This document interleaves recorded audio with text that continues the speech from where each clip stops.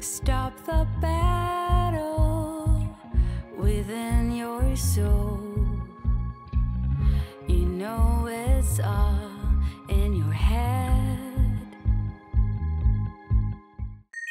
선크림까지 발랐고요. 지금 요거 바비 브라운의 weightless 스킨 파운데이션 사용을 할 건데 제가 이 버전 똑같은 거 여름 쿠션 영상에서 추천할 만큼 너무 좋아했던 쿠션이거든요. 근데 요게 이제 8월에 신상으로 파운데이션이 출시가 돼서 써볼게요. 이거 제가 한 두 번 정도 써봤는데 좋더라고요. 그래서 저처럼 건성인데 semi matte 피부 표현 좋아하시는 분들은 아마 좋아하실 거예요. 근데 문제는 이게 sand 컬러예요. sand 컬러는 저한테 솔직히 조금 많이 많이 차분한 편이긴 하거든요. 그래서 밝은 21호나 19호 분들은 꼭 색상을 이거보단 밝은 걸로 구매하시는 걸 추천해드립니다.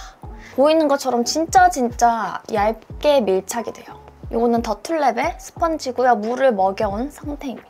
제가 오늘은 신상을 보여드리긴 하겠지만 메이크업이나 뷰티 얘기보다는 저의 개인적인 요즘 근황, 저의 생각 그런 사담이 더 많은 메이크업 영상이 될 것 같아서 뭔가 몽독자들이랑 이런 얘기를 할 수 있는 시간이 get ready밖에 없잖아요. 그래서 한두 달에 한 번씩은 무조건 이 get ready를 촬영을 하려고 해요. 제가 사실 어제 12월 크리스마스 끼고 지금 가려는 여행지를 어제 딱 비행기표를 티켓을 구매를 했거든요. 바로 덴마크랑 노르웨이인데요.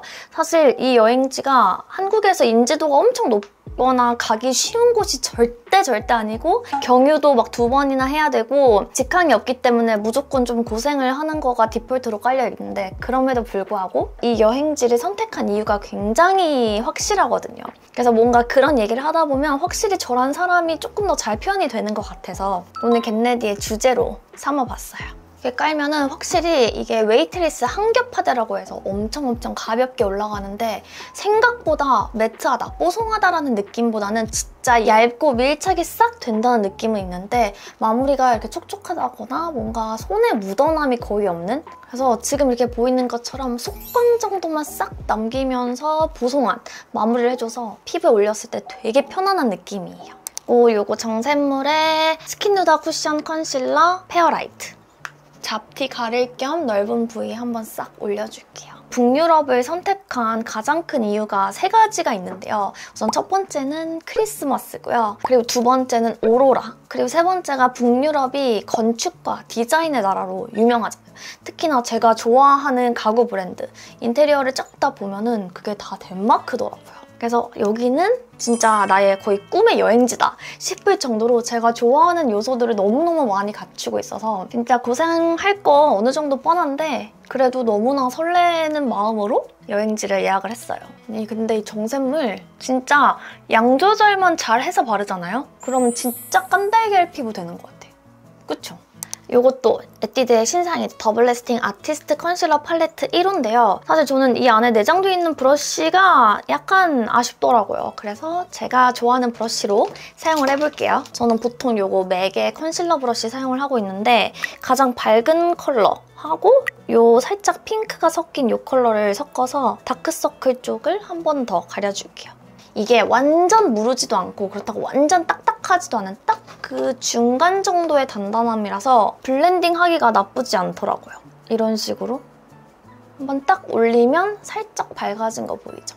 저의 얘기를 조금 해보자면 저는 취미나 좋아하는 게 되게 많은 사람인 거는 맞아요. 근데 생각보다 그 취미들을 엄청 깊고 진짜 딥하게 파는 스타일은 아니거든요. 그래서 한때는 이게 저의 약간의 그 고민이었던 게 왜 나는 취미라고 말할 수 있는 것들은 꽤나 많은 것 같은데 왜 조금 얕은 느낌이지? 왜 난 더 깊게 안 빠지지? 라는 그런 고민을 살짝 했을 때가 있었어요. 근데 그런 저도 몇 년이 지나도 꾸준히 깊게 좋아하는 게 바로 뷰티랑 요 인테리어라는 영역이더라고요. 근데 뷰티는 아무래도 업이 업이니만큼 완전 100% 취미로만 좋아하는 건 아닌데 인테리어는 제가 맨날 맨날 진짜 좋아하는 브랜드 둘러보기는 기본이고 가구 샘플 세일 하는 데 있으면 막 찾아가서 구경하는 것도 너무 좋아하고 아무튼 제가 어렸을 때부터 저희 집을 꾸미는 것도 너무 좋아했고 저희 엄마도 집을 이렇게 꾸미는 걸 엄청 좋아하셔서 옛날부터 그런 영향을 받았기도 했고요. 제가 미국에 이제 오래 살았다 보니까 특히 중학교 3학년부터 고등학교는 다 기숙사에서 작은 방이긴 했지만 제 방을 직접 꾸미는 것도 너무 좋아했고 대학교 올라가서는 이제 아파트에서 살면서 그 집을 꾸미는 재미를 이제 맛보기 시작하면서 내가 인테리어를 진짜 좋아하는 사람이고 약간 그 감각은 있구나 라는 거를 알게 됐어요. 그다음에 요거 라네즈의 보라색 파우더 요거 발라볼 텐데 요즘 이거에 꽂혀서 진짜 진짜 자주 바르고 있어요. 특히나 오늘처럼 톤이 전체적으로 살짝 어두워서 약간 밝히고 싶다 할 때 쓰기 진짜 좋은 그런 파우더입니다. 제 유튜브 초창기 때부터 함께 해오신 몽독자들은 아시겠지만 제가 그때는 완전 100% 뷰티였다기보다는 집에서 찍는 루틴 영상이나 인테리어, 뭐 방 바꾸기, 방 구조 바꾸기 이런 영상들도 진짜 많이 찍고 되게 좋아해 주셨거든요. 그리고 결혼한 다음에 지금 살고 있는 이 집도 제가 진짜 하나하나 다 발품 팔고 직접 사러 다니고 자재도 하나씩 직접 다 고르면서 정말 저의 열정을 많이 쏟아부었던 곳이라 좀 감회가 남다른 집이긴 한데 아무튼 이 집도 보여드렸더니 정말 많이 좋아해 주셨어요. 제가 집요하게 무언가를 파는 성격은 좀 아니라고 했잖아요. 근데 실제로 약간은 좀 설렁설렁한 편이고 얕 게 좋아하는 게 많았는데 근데 또 그러다가 한 번 좋아하는 게 있으면 미치게 파고들고 완전 무섭게 좀 빠져드는 편이거든요. 그래서 흡수력도 훨씬 좀 높아서 그런지 인테리어 관련된 정보들, 뭐 인테리어 가구 이름들, 뭐 언제 나왔고 어디에서 팔고 있고 이런 거는 한 번 듣잖아요. 그러면 머리에서 절대 빠져나가지 않고 제가 다 기억을 하고 있더라고요. 아, 나 진짜 이거 그만큼 좋아하는구나 라고 딱 깨닫게 됐어요. 그 다음 요거 에뛰드 그림자 쉐딩 3호 재조명 요거랑 이번에 이 브러쉬가 또 새로 같이 나왔더라고요.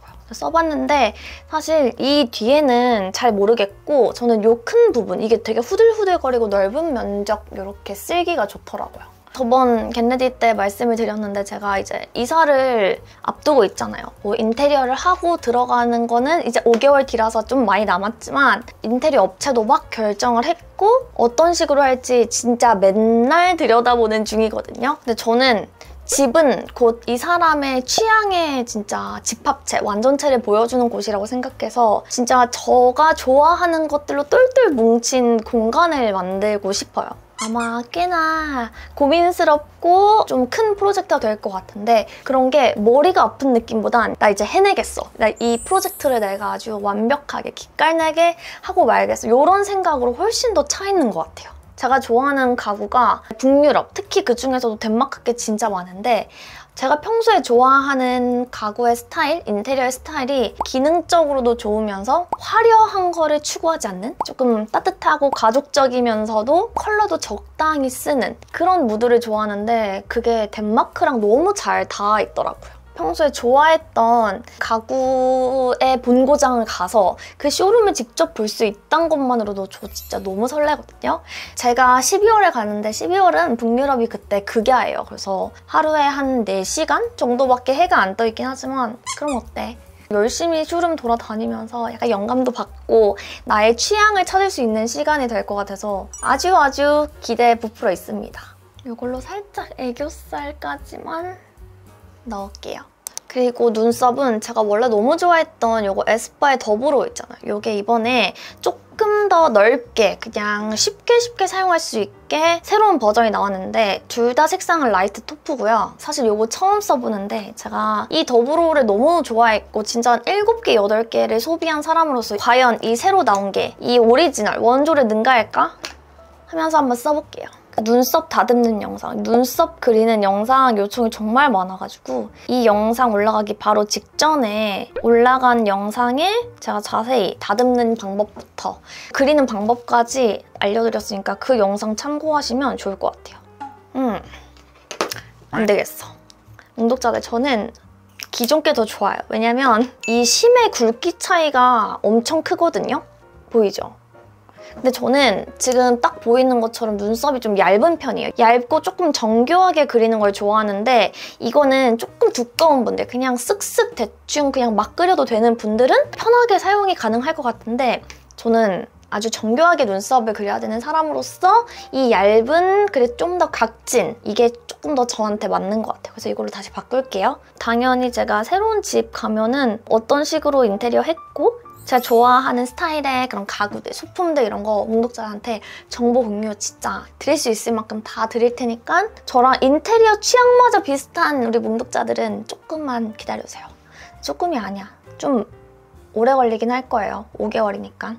제가 그 눈썹 다듬는 영상을 찍느라고 거의 2주 넘게 눈썹을 못 자르고 못 다듬고 있었어요. 저는 진짜 맨날 맨날 눈썹을 다듬는 사람으로서 너무 고통의 시간이었는데 그래도 확 기른 다음에 어떻게 다듬는지 자세히 보여드리고 싶어서 그냥 주구장창 길렀거든요. 근데 싹 다듬고 나니까 지금 눈썹 볼 때마다 아주 마음이 너무 평화로워요. 그래서 이런 식으로 빡 아치 살려서 그려주고요. 이제 눈화장에 들어갈 텐데 제가 사실 오늘 어뮤즈 키티 팔레트를 들고 오려고 했는데 하, 개인적으로 저는 그 색 구성이 좀제 취향이 너무 아니라가지고 제가 이걸 자주 찍는 컨텐츠가 아니잖아요. 한 달에 한 번씩 찍는데 그래도 좋아하는 컬러를 들고 와야겠다 해서 이거 뮤드의 피크닉 타임 팔레트 사용을 할게요. 오늘은 전체적으로 약간은 그래도 따뜻한 느낌이 살짝 있었으면 좋겠어서 요 맨 왼쪽에 peach 컬러 하고 바로 옆에 이 핑크를 두 개를 섞을게요.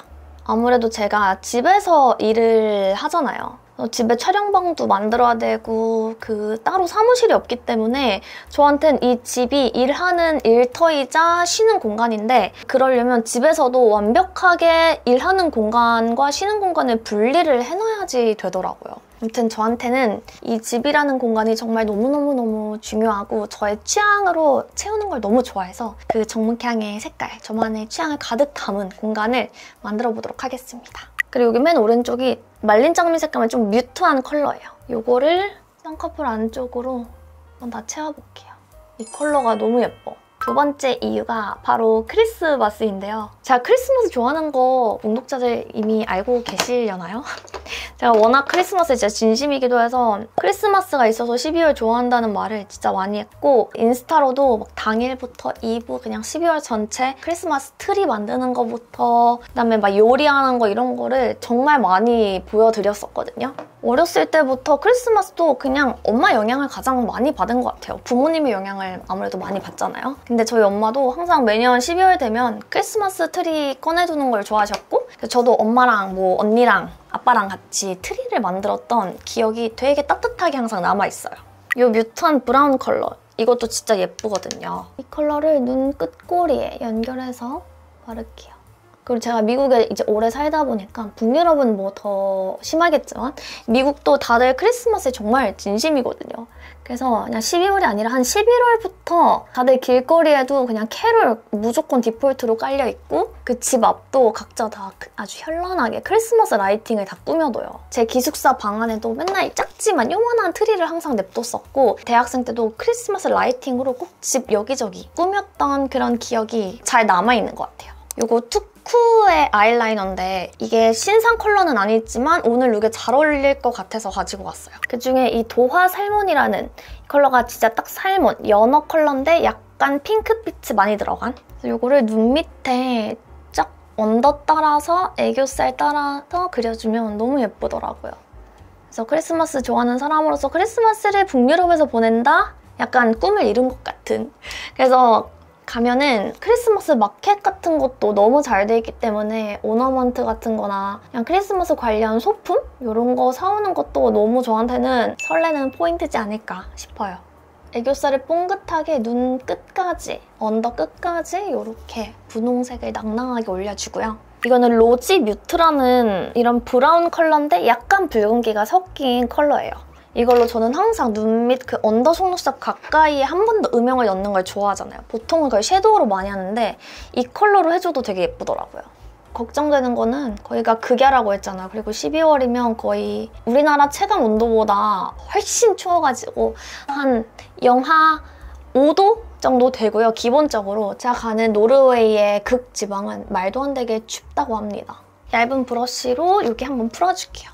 낮 3, 4시면 해가 다 진대요.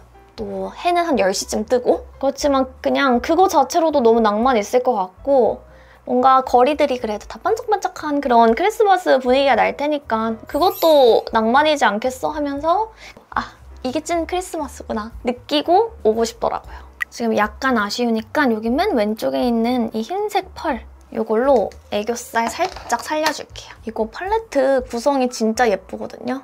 그리고 음영 컬러부터 그냥 메인 베이스 컬러 그다음에 이렇게 펄 섀도우까지 구성이 너무 예뻐가지고 이거 완전 추천드립니다.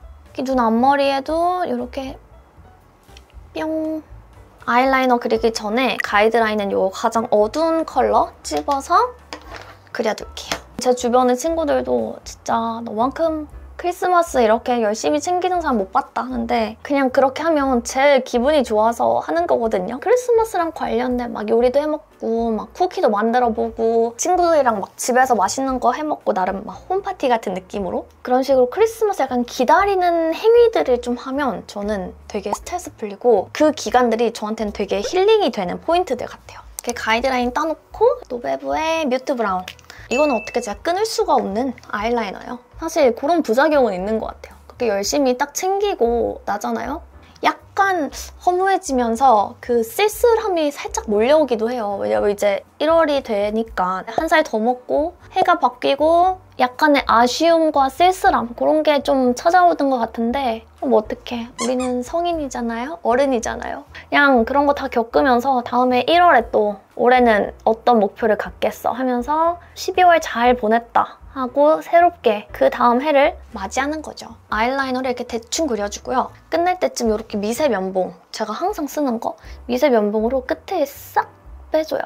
저는 끝꼬리를 이렇게 얄렵하게 빼는 거를 좋아해가지고 이 작업을 무조건 해줍니다. 뒤에 있는 이 liquid 붓펜으로 끝꼬리를 이렇게 날렵하게 싹 빼줘요. 그리고 끝에 한 번더 이걸로 싹 정리해주면 날렵 그 자체.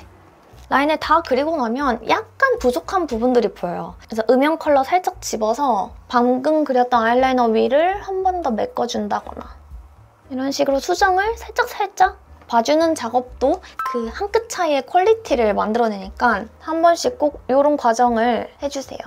이제 뷰러를 찝을게요. 항상 쓰는 이거 시쉐이도의 뷰러고요.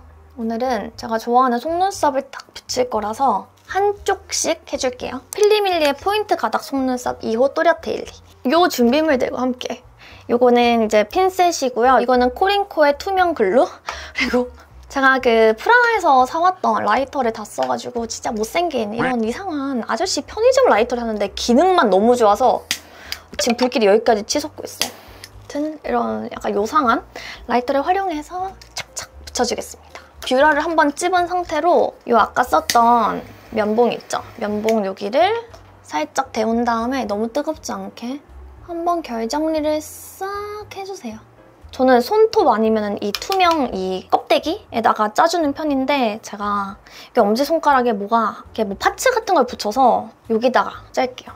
그동안의 흔적들 보이나요? 이거 할 때 말을 못하니까 잠시 사담은 지금 중지. 그리고 저는 눈 살짝 든 다음에 이 밑에 있죠?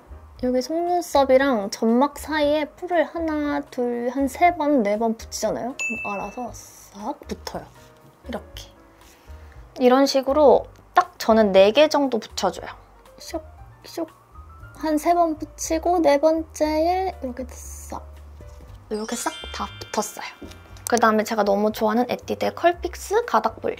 이거를 안 해줘도 상관은 없지만 그냥 결 정리해준다는 느낌으로 그냥 싹 한 번만 훑어요. 정말 가볍게.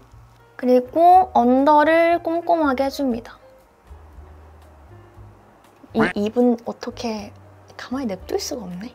마지막으로 면봉 한 번 더. 아니 이 소리부터 너무 요란하고 무서워.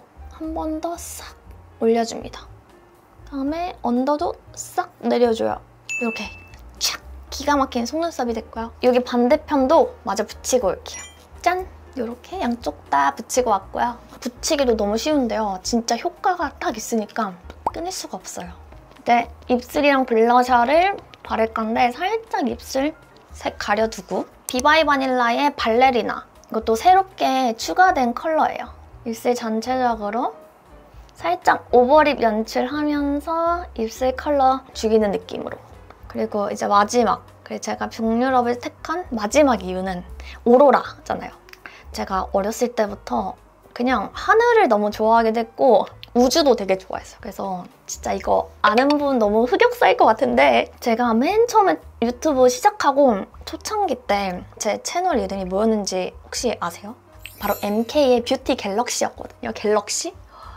나 이거를 내 입으로 말하는 게 너무 창피하고 수치풀이지만 귀여웠던 저의 과거예요. 그래서 그만큼 우주를 좋아하기도 했고 우주에 관련된 이런 장명을 너무 좋아했어요. 워낙에도 자연을 너무 좋아했고 제가 살던 데가 또 샌디에고니까 거기는 그냥 바다, 뭐 하늘 이런 게 거의 365일 중에 360일을 즐길 수 있는 환경과 날씨였거든요. 그래서 아마 더 그런 것들을 좋아하게 되지 않았을까. 그러다가 아니 내가 북유럽을 가는데 덴마크까지 갔는데 바로 옆에 있는 어, 노르웨이 들려서 이 오로라를 보고 와야 되지 않겠어? 라는 생각이 들었던 거죠. 이것도 스코 언니가 구해다 준 신상인데요. 아워글래스의 liquid blush 이거는 future라는 컬러예요. 뒤에를 뿅 이렇게 누르면 제가 딱 좋아하는 묽고 맑은 그런 coral blusher가 나오거든요. 이거를 손 아, 너무 예뻐.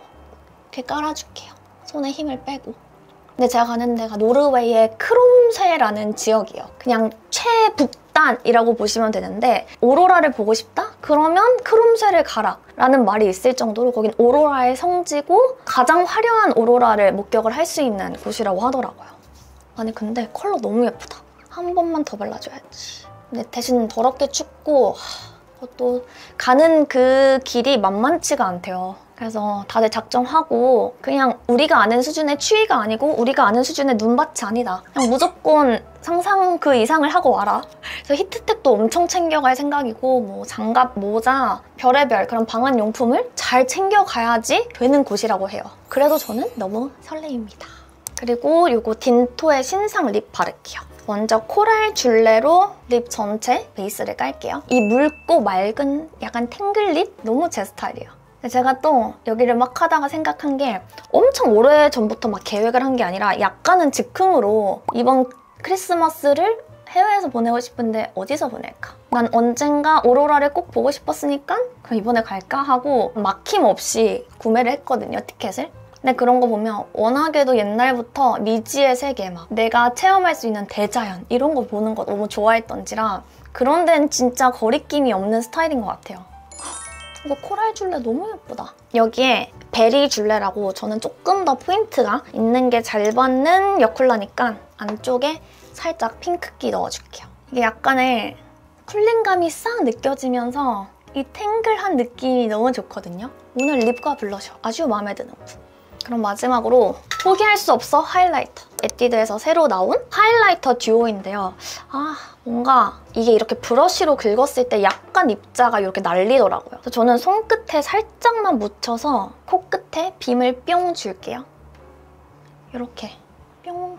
아무튼 요거 혹시 구매 예정에 있으신 분들은 이게 되게 오로라 빔이거든요. 어? 마침 또 내가 오로라 얘기를 하는데 아무튼 그렇게 되게 영롱한 빛이 나는데 브러쉬로 긁어서 사용하면 이 입자가 많이 날리니까 그거 꼭 주의하시고요. 저는 극소 부위에 소량만 이렇게 터치해서 바르거나 아니면 이렇게 후들거리는 거 말고 좀 촘촘한 브러쉬죠. 그런 거랑 궁합이 좋으니까 그거 꼭 참고해주시면 좋을 것 같습니다. 메이크업은 이렇게 끝이 났고요. 이제 머리랑 옷까지 갈아입고 돌아오겠습니다. 짠! 이렇게 입었습니다. 오랜만에 날도 더우니만큼 머리 싹 다 뒤로 올백으로 묶었고요. 약간 나르카로 이렇게 잔머리 스타일링하고 검정색 끝나시 원피스 입었어요. 오늘은 피부 톤도 살짝 다운됐고 차분하니만큼 또 피치 컬러도 많이 섞었잖아요. 그래서 전반적으로 너무 상콤 발랄 이런 쪽보다는 좀 차분하기도 하면서 느낌 있게 분위기 있게 가보려고 노력을 해봤어요. 오늘 진짜 너무 제 사담이 많이 들어간 수다를 정말 많이 떤 그런 영상인데 이런 영상도 좋아해 주셨으면 좋겠고요. 오늘 영상도 봐주셔서 정말 정말 감사드립니다. 오늘 영상은 그냥 틀어놓고 우리 같이 화장하는 느낌으로다가 같이 준비하는 느낌으로다가 봐주시면 좋겠어요. 있어요.